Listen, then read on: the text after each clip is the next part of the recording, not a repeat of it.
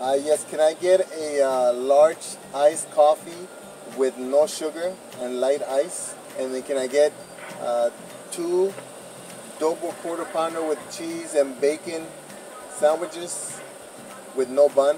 No bun. No bun. That's all. Hello, how's it going guys? Thank you for watching. For this video, I want to talk a little bit about the lunch that I get from McDonald's. This is the second video on McDonald's and the biggest reason McDonald's is my go-to as I mentioned on the first video is because of their coffee. Their coffee is the most consistent. So part of that lunch that I eat at McDonald's is coffee, no sugar, light ice. This one really carries me through the day. I always try to go over there and just get the coffee if I forgot to make it for myself in the morning at home or something. Uh, and I try not to get too much food from McDonald's because it's expensive, especially when you get rid of the bun, so the serving becomes a lot smaller and therefore not filling enough. But with that being said, I do enjoy the McDonald's double quarter pounder with cheese and bacon. And as you can see, this one, the cheese got stuck on the top. So there you go. Sometimes I put it on the top, sometimes I put it in the middle. It all depends, but this is it right here. Now this burger doesn't normally come with lettuce, but when you order with no bun, they add the lettuce on the bottom, kind of like a salad. As you can see, it has the lettuce, it has two patties, it has bacon and cheese in the middle. They do add ketchup. I used to have them take off the ketchup, but then it became too convoluted. In fact, when I first started ordering this, they kept giving me the regular quarter pounder with cheese. So I would end up paying for the double quarter pounder with cheese and would in a couple of instances get the quarter pounder with cheese and it was just tiny. I always get two if I'm really hungry. If I'm not that hungry, I just get the one.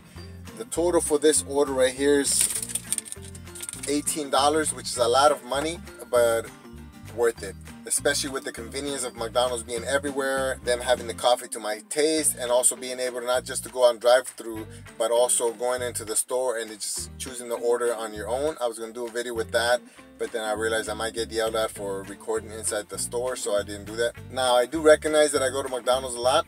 Uh, it is definitely my go-to, but I have tried Burger King uh, low carb options with the burgers. I like that they give you a big plate with a lot of lettuce and tomatoes because when you eat a bunless burger, like for example the Bacon King at Burger King, the combo of the patty with the bacon and the cheese tends to be too salty. It just feels too like too much. So being able to break it up with lettuce and tomato uh, really does help. That's another reason why I started doing the uh, double quarter pounder with bacon in McDonald's because they do add the lettuce with this burger. They don't add it with all the burgers that you get without a bun. With this one, the lettuce definitely helps you balance out the flavors. But this is definitely one of my go-to meals, especially when I'm busy. Like right now, wedding season. I'm actually waiting for a wedding right now. So let me give you guys a really quick taste test since uh, you know, I'm pretty sure you all know how McDonald's tastes. This one has uh, some meat, some cheese, and some bacon. Mm. My favorite part about McDonald's is their patties are really moist, really soft. I've had a couple of times in Burger King get patties that are really dry and I would have to kind of add some kind of a sauce to it. But these guys never disappoint. It is definitely something I recommend, especially when you mix it with the coffee.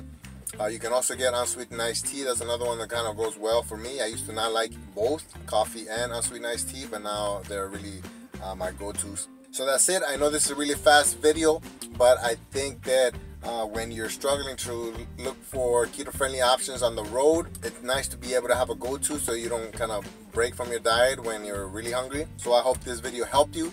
If you liked the video, please hit that like button. Also, if you haven't already, please subscribe to this channel. And don't forget to click on the bell so you get notified when I upload new videos. I really appreciate you guys watching and I'll see you guys on the next one.